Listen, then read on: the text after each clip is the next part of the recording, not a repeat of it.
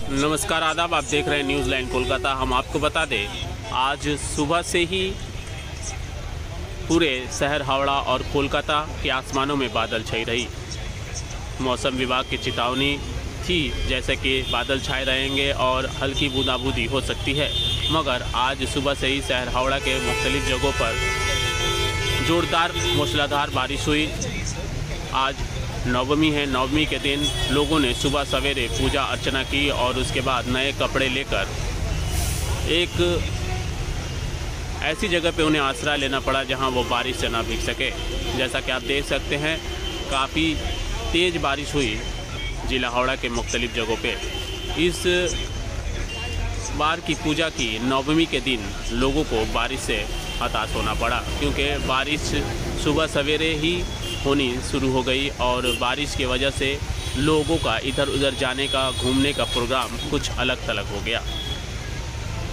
इतनी शदीद गर्मी और ये बारिश, ऊपर से पूजा पंडाल रास्तों पे, सड़कों पे, जमे जगह जगह पे बारिश की पानी, जिसकी वजह से घूमने वाले लोगों में थोड़ी हताशा देखने को मिल रही है। फ़िलहाल मौसम विभाग के सूचना के अनुसार आसमान में बादल छाए रहेंगे और कई जगहों पे बारिश हो सकती है, जो शहर कोलकाता और हावड़ा के बीच में है।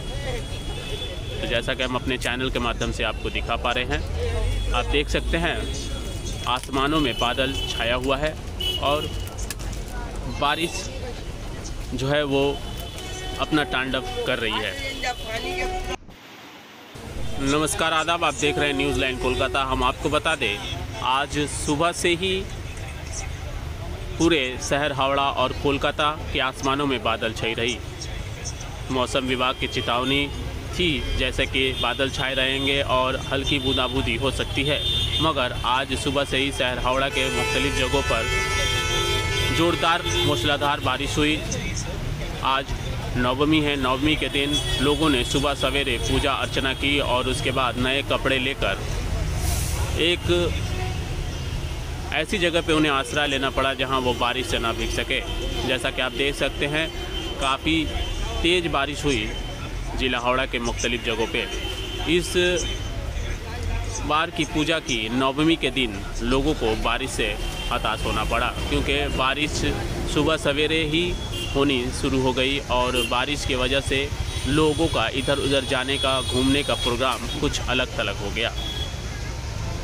इतनी शदीद गर्मी और ये बारिश, ऊपर से पूजा पंडाल रास्तों पे, सड़कों पे, जमे जगह जगह पे बारिश की पानी, जिसकी वजह से घूमने वाले लोगों में थोड़ी हताशा देखने को मिल रही है।